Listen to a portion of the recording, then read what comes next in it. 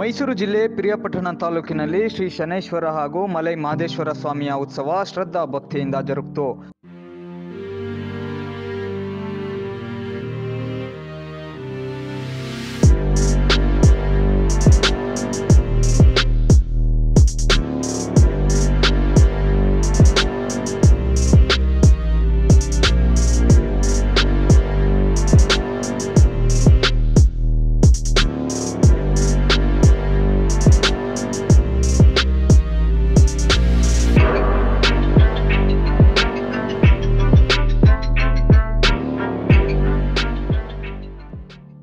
ತಾಲೂಕಿನ ಬೆಟ್ಟತ್ಪುರದ ದೀಪಾವಳಿ ದೀವಟಿಗೆ ಉತ್ಸವದ ಬೆನ್ನಲ್ಲೇ ಅರೇನಹಳ್ಳಿ ಗ್ರಾಮದಲ್ಲಿ ಶ್ರೀ ಶನೇಶ್ವರ ದೇವಾಲಯದಲ್ಲಿ ವಿಶೇಷ ಪೂಜಾ ಕೈಂಕರ್ಯ ಶಾಸ್ತ್ರೋಕ್ತ ರೀತಿಯಲ್ಲಿ ನೆರವೇರಿತು. ಬೆಳಿಗ್ಗೆಯಿಂದಲೂ ದೇವಸ್ಥಾನದಲ್ಲಿ ವಿಶೇಷ ಪೂಜೆಗಳನ್ನು ನಡೆಸಲಾಯಿತು.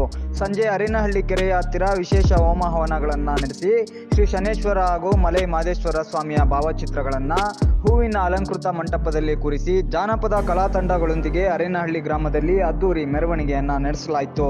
ಉತ್ಸವಕ್ಕೆ ಬಂದಂತಹ ಭಕ್ತಾದಿಗಳಿಗೆ ಅನ್ನ ಸಂತರ್ಪಣೆ ಪ್ರಸಾದವನ್ನು ವಿನಿಯೋಗಿಸಲಾಯಿತು.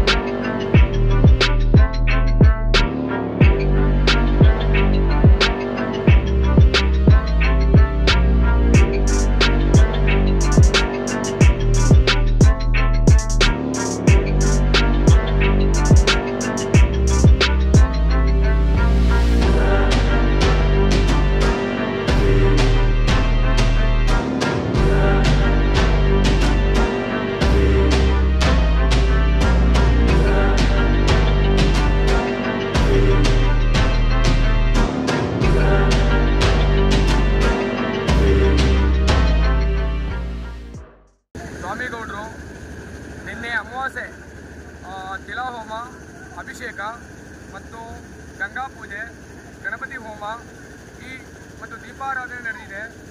ಇವತ್ತು ಬೆಳಗ್ಗೆ ಸ್ವಾಮಿಗೆ ಅಭ್ಯಂಜನ ಮತ್ತು ಹಲವಾರು ಪೂಜೆಗಳನ್ನು ನಡ್ಕೊಂಡು ಬಂದಿದ್ದೀವಿ. ಇಲ್ಲಿ ಶರಣರ ಗದಿಗೆದು ಹರಳೇನೂರು ಮಠ, ಅವರ ಗದಿಗೆಯಲ್ಲಿ ಪ್ರತಿ ವರ್ಷವೂ ಕೂಡ ಇವತ್ತಿನ ಸಂಜೆ, ಪ್ರತಿ ದೀಪಾವಳಿಯಲ್ಲಿ ಸಂಜೆ ಉತ್ಸವವನ್ನು ಮಾಡ್ತೀವಿ.